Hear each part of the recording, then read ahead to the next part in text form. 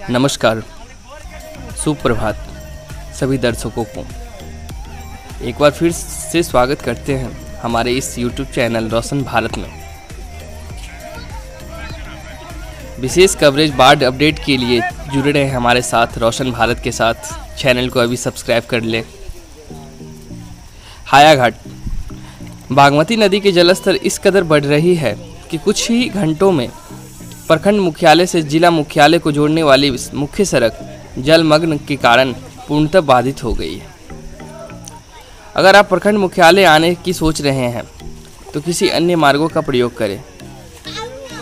जैसे जलमलपुर अगर जलस्तर इसी प्रकार बढ़ती रही तो बाढ़ आने की संभावना बन सकती है, जहाँ एक तरफ़ पूरा देश कोरोना जैसी महामारी से जूझ रही है।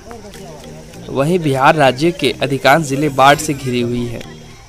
बाढ़ की विशेष कवरेज के लिए जुड़े रहें रोशन भारत के साथ। अगर आपको हमारी यह वीडियो पसंद आई तो वीडियो को शेयर करें। अगर आप इस वीडियो को फेसबुक पेज पे देख रहे हैं तो फेसबुक पेज को लाइक कर दें। साथ ही साथ यूट्यूब पे देख रहे हैं तो यूट्यूब को सब्सक्राइब कर दें। हर एक छोटी बड़ी खबरों के लिए देखने के लिए धन्यवाद। और हमारे साथ जुड़े और ज़्यादा से ज़्यादा इस वीडियो को शेयर करें ताकि अन्य लोगों को इसकी लाभ की सूचना मिलती रहे। धन्यवाद।